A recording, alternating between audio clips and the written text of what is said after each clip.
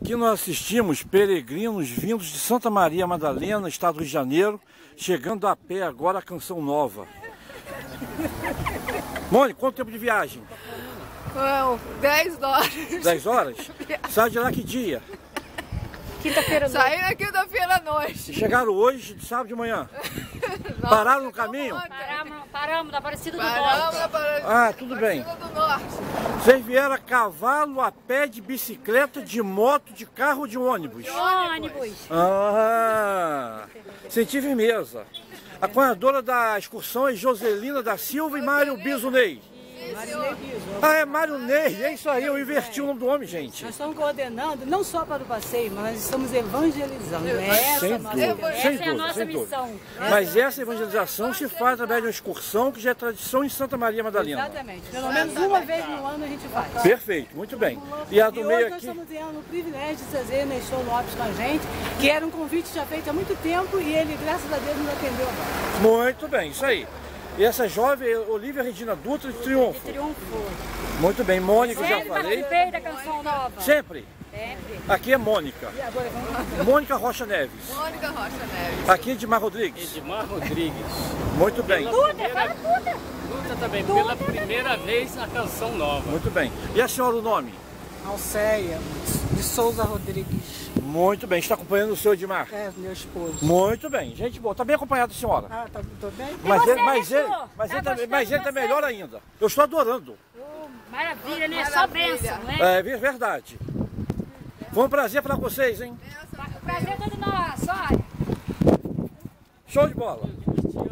A todos nós. Aqui na frente tem mais gente aqui. Tem Rivânia com sombrinha.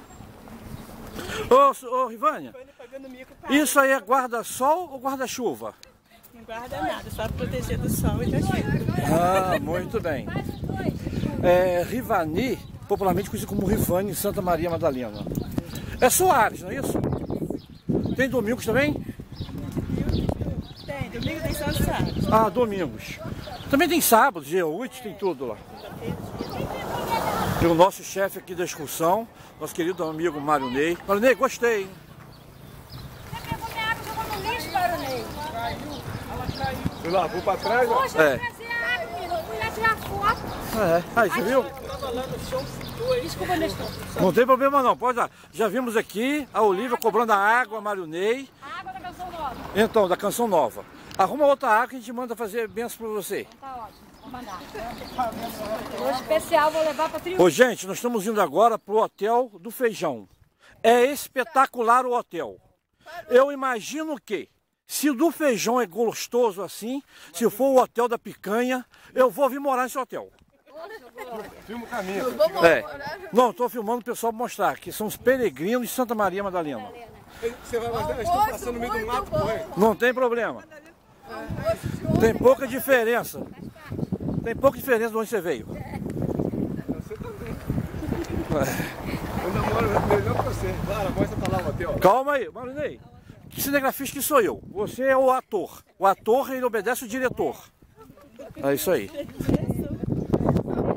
Gravação direção do Nestor Lopes. Muito bem. E lá na fundo, lá, olha, gente, nosso hotel lá. Ó, estamos chegando já no Hotel do Feijão, gente. Agora, sério, o hotel é muito bom mesmo.